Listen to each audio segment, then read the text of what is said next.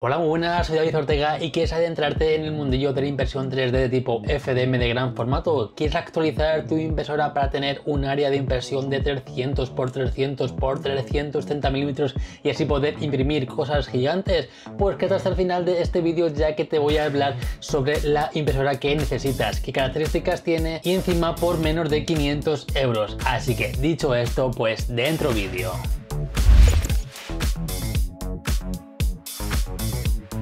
Y sí, hace unos días pues analicé otra impresora de la marca Clarity, la cual era la Ender 3 V3 SE, la cual si no has visto, pues aquí arriba te dejo un vídeo para que vayas a verla. En esta ocasión traigo otra Ender 3 V3, pero en esta ocasión es la Ender 3 V3 Plus, pero llámame loco, pero esta impresora no tiene nada que ver con una Ender 3 normal, ya que si la hubieran puesto pues otro nombre random al estilo IKEA, pues también hubiera servido. En esta ocasión, como digo, pues es la Ender 3 V3 Plus, la cual como he comentado anteriormente, pues tiene un área de impresión de 300 x 300 x 330 milímetros, por lo que esta impresora entraría en el grupo de impresoras de gran formato. Decir que me la han cedido la gente de Clarity y también decir que esta impresora pues se podría decir que es la hermana mayor de la impresora Ender 3 V3, ya que es la misma pero solo cambia pues su área de impresión. Lo primero de todo es destacar que esta impresora pues nota que tiene un toque pues más premium con materiales como el aluminio, ya no vemos tanto el plástico como en el caso de la Ender 3 V3S, incluso si observamos, pues el puente H está formado por una sola pieza de aluminio. Además, al ser una impresora tan grande, pues la impresora ya viene con unas barras laterales tensoras para darle una mayor rigidez a la máquina y así poder imprimir pues, a una mayor velocidad eh, con la mejor calidad posible. Además, decir que según la propia marca Clarity, esta impresora 3D pues, puede imprimir hasta una velocidad de 600 milímetros por segundo y una aceleración de hasta 20.000 milímetros por segundo aunque también en letra pequeña se indica que la velocidad típica es de 300 mm por segundo usando su propio filamento de la serie Hyper.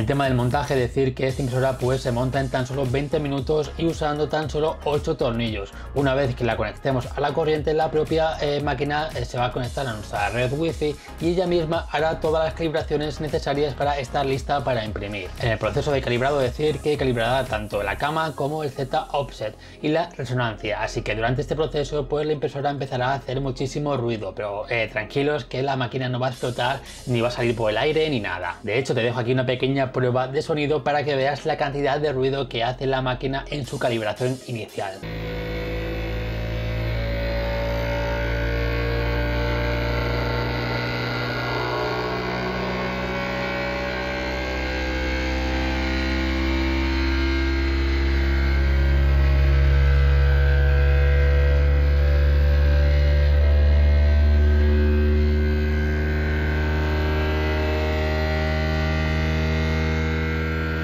Esta impresora pues lleva clipper modificado y sobre todo capado por Clarity, al cual si accedemos mediante el servidor web que nos crea, pues no podemos tocar prácticamente nada, tan solo podremos subir archivos e imprimirlos. Y esto para los que nos gusta cacharrear con las impresoras y modificar configuraciones, pues no nos gusta nada. Pero esto obviamente se puede hacer root, eh, instalar un clipper original y sin modificar, el cual sí que nos permitirá modificar mucho más y tocar incluso los archivos de configuración de la máquina. Por ejemplo, la Clarity K1 más que tengo por aquí atrás, pues igual, pero en este vídeo que te dejo por aquí arriba te expliqué cómo hacer root a instalar nuestro propio Clipper sin capar. Y por cierto, si has llegado hasta aquí, puedes decirte que te suscribas a mi canal de YouTube y actives la campanita para que te lleguen mis notificaciones, ya que más del 90% de las, de las personas que ven mis vídeos pues no están suscritos. También quiero decirte que en la descripción del vídeo encontrarás dos guías de impresión 3D y robótica con Arduino que te podrás descargar de forma totalmente gratis. Por otro lado, decirte que he abierto la nueva academia de cursos online de impresión 3D y robótica robótica con Arduino que podrás acceder a todos los cursos y proyectos de robótica disponibles por tan solo 10 euros al mes y sin permanencia. Y si quieres acceder durante un mes totalmente gratis, pues déjame un comentario en este vídeo y entre todos los participantes pues seleccionaré un ganador para que pueda acceder, como digo, pues durante un mes a la academia sin ningún tipo de precio ni permanencia. La verdad es que mi intención es crear un Netflix de cursos Maker Online, así que si estás interesado o interesada, aquí abajo te dejo el enlace de acceso. Esta impresora al disponer de Wi-Fi, pues la podemos usar mediante la herramienta de Clarity Cloud, la cual es una plataforma colaborativa donde hay archivos listos para mandar directamente a la impresora de forma remota. Pero bueno, esto es algo que yo personalmente pues no he usado mucho. Pero aquí yo lo digo, yo lo cuento por si lo queréis mirar y usar. Respecto al sistema de correas, decir que esta impresora no lleva ningún tipo de usillo roscado y que toda ella se mueve con sistemas de correas y poleas que Clarity ha llamado Core XZ.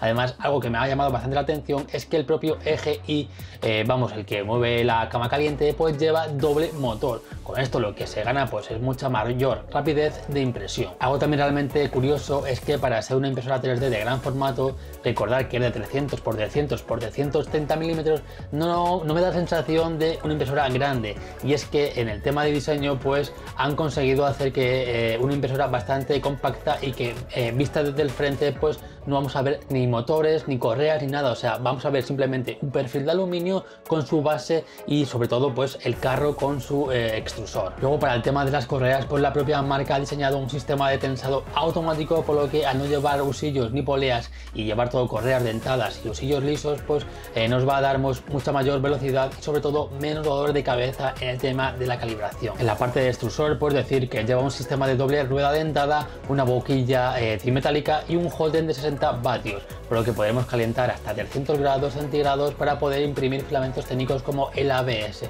Pero eso sí, tendremos que tener pues, la impresora cerrada para no tener problemas. La pantalla táctil tiene una resolución de 800 x 408 y unos 217 puntos por píxel por lo que tiene una calidad muy buena, además de, además de su capacidad táctil, pues también es realmente buena y que no tenemos que apretar nada, simplemente con rozar un poquito ya vamos a poder hacerla funcionar. El sistema operativo que monta es el Creative OS, que básicamente, como he comentado anteriormente, pues es un clipper modificado y capado por la propia marca. Además tiene su propio laminador, el Creative Print, el cual sinceramente pues ni he, montado, ni he usado, perdón, ni, he probado, ya que veo que es algo innecesario eh, estar, con, estar con 20 laminadores para cada una de las marcas. Creo que a día de hoy, pues con Cura, Pulsar Slicer incluso Orchid Slicer, pues las marcas deberían de apoyar más pues, a estos laminadores que andan haciendo sus propios eh, modificaciones para tan solo poner su logotipo y su nombre.